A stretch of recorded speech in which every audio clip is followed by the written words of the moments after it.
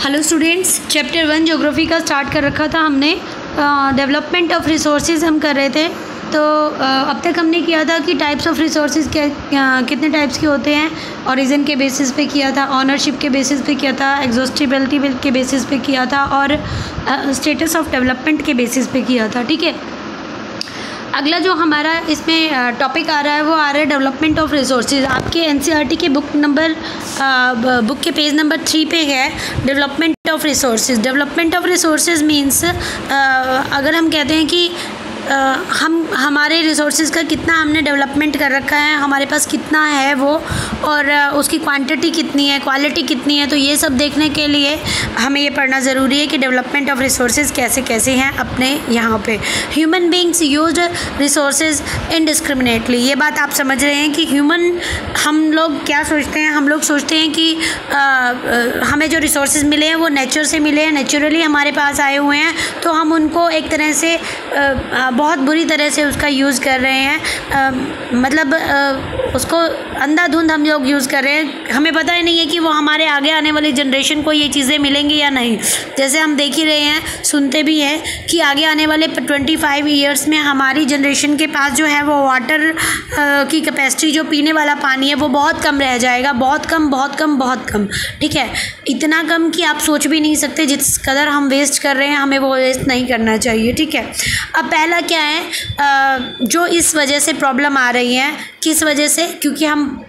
बहुत ज़्यादा रिसोर्सेज को यूज़ कर रहे हैं एक्सेस में यूज़ कर रहे हैं। उसकी वजह से जो प्रॉब्लम आ रही है, पहली प्रॉब्लम है depletion of resources for satisfying the greed of a few people मतलब हम लोग बिल्कुल भी नेचर को नहीं देख रहे हैं, अपने आगे आने वाली जनरेशन को कुछ दे के नहीं जाना चाह रहे। हम लोग बस कुछ लोगों की जो ग्रीड है, भूख है, उसको पूरा करने के लिए रिसोर्सेज को और ज़्यादा और ज़्यादा यूज़ करते जा रहे हैं। उसका और ज़्यादा आप ये कह सकते हो कि उसको बर्बाद करते जा रहे हैं, ठीक है? मतलब जो इंडस्ट्री के बड़े बड़े लोग हैं, आप कह सकते हो कि, या कोई पैसों वाले लोग हैं जिनको ज़्यादा रिसोर्स चाहिए हैं इन देंस पेट्रोलियम के लिए या क्रूड ऑयल वगैरह के जो एजेंसियाँ होती हैं, उन सब में हम, उन कुछ लोगों को मतलब पैसा मिले या वो और ज़्यादा रिच हो, इस चक्कर में हम लोग अपने सारे रिसोर्स बर्बाद करते रहते हैं। ठीक है?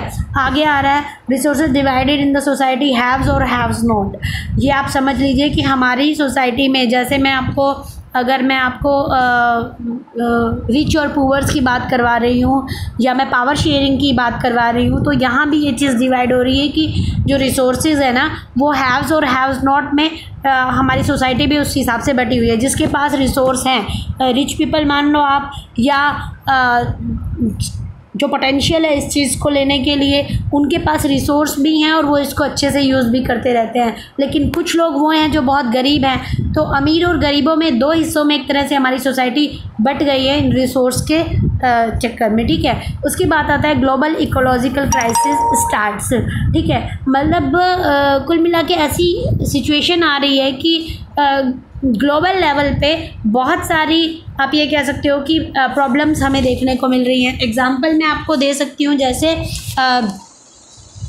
अगर हम नॉर्थ कोरिया की बात करते हैं तो आपको पता है कि नॉर्थ कोरिया में आए दिन मिसाइल्स वगैरह वो लोग अपना एटॉमिक परीक्षण करते रहते हैं, ठीक है? उसकी वजह से क्या हो रहा है? कहीं कहीं अर्थ क्विक आते जा रहे हैं या कोई और प्रॉब्लम होती जा रही है नेचर के अंदर। या आप एक एग्जांपल ले सकते हो कि जैसे ग्लोबल वार्मिंग ज़्यादा बढ़ रही है, इसकी वजह से जो आइसबर्ग हैं वो मेल्ट हो रहे हैं। मेल्ट होने से जो हमारा ओशन लेवल है वो बढ़ रहा है, ठीक है? और जो नज़दीक के एरिया है, मुंबई को भी आप अगर मान लो, बॉम्बे को तो वो भी नियर अबाउट है। तो एक टाइम ऐसा आता है कि जो जो ओशन के नियर अबाउट के एरिया हैं वो सारे डूब रहे हैं। ठीक है? तो ये प्रॉब्लम कहाँ से शुरू हुई?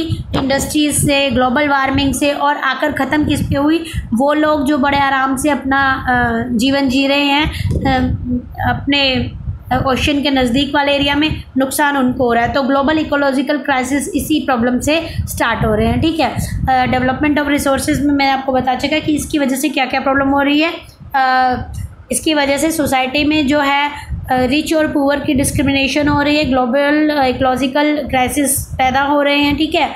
और इसकी वजह से कुछ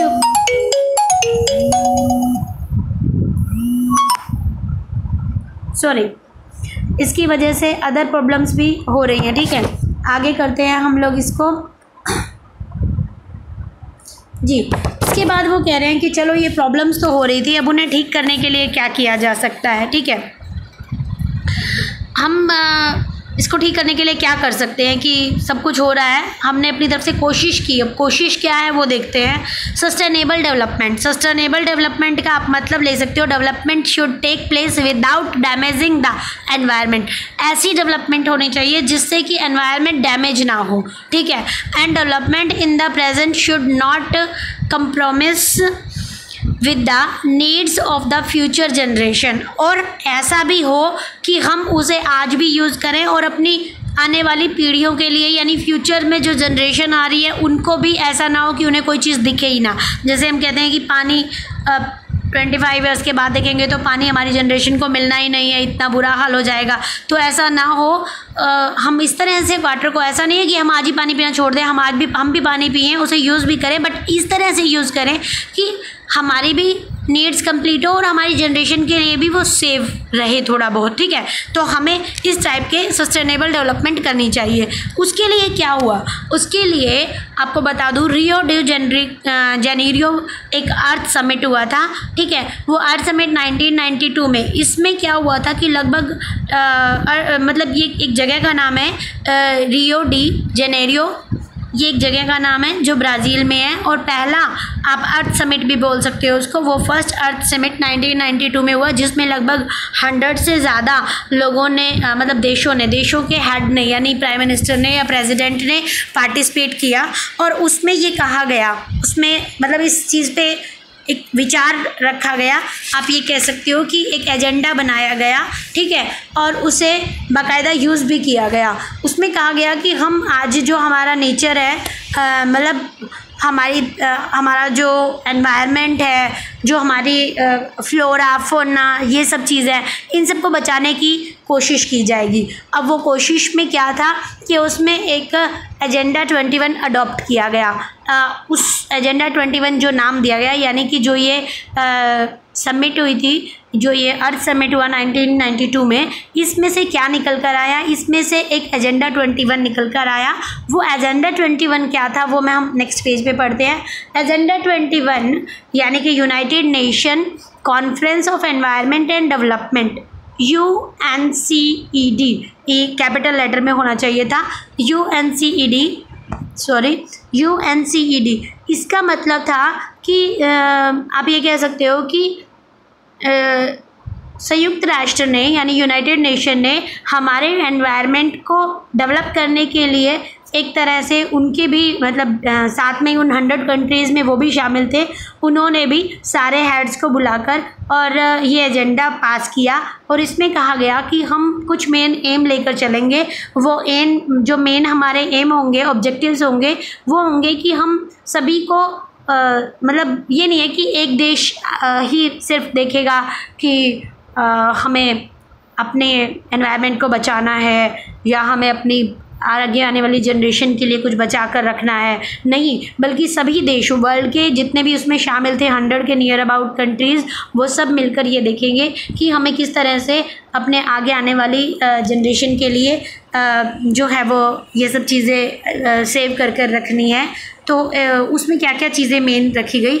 एक तो एनवायरनमेंट डैमेज ना हो दूसरा पॉवर्टी कम की जाए और तीसरा डिज़ीज़ से जो प्रॉब्लम्स होती हैं डिज़ीज़ ना फैले इस टाइप की ये तीन चार एम रखने आ, रखे गए एजेंडा ट्वेंटी वन में। ठीक है ये तीन मेन एम थे उसके।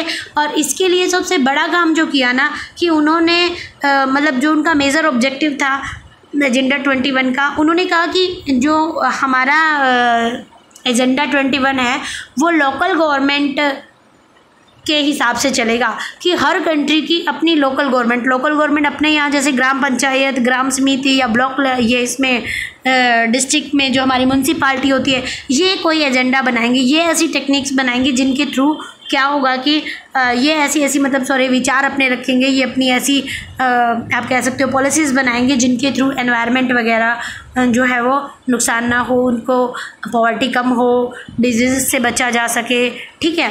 अब मेरे हिसाब से ये आपका हो गया है।